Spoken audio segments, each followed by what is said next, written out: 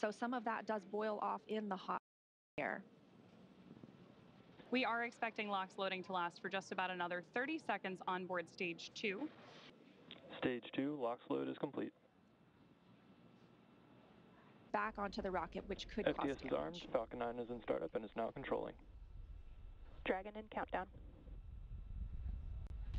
Standing by for the first launch of 10, humans Nine, from Space Launch eight, Complex 40. seven, six, five, four, three, two, one. Ignition. Engine full power. And liftoff of Crew 9. Go SpaceX, go Falcon, go NASA. Liftoff of Crew 9 now soaring to the International Space Station. Stage 1 Alpha. Stage 1 propulsion is nominal. Copy, 1 Alpha. Those nine the crew is pulling just over 2 Gs at this point.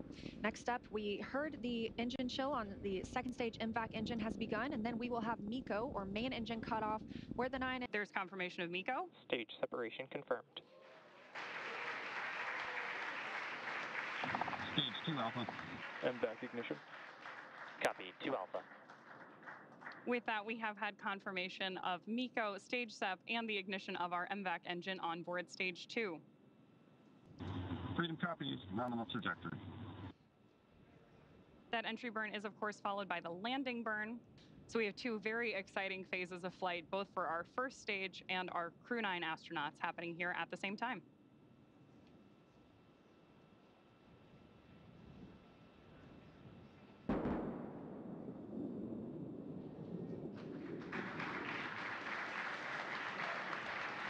Stage 2, FTS has paced. We're also, of course, going to get ready for that nose cone opening, which will allow Dragon to dock with the International Space Station about 28 hours from now. Bottom of Dragon that Crew 9 will use when it returns home early next year.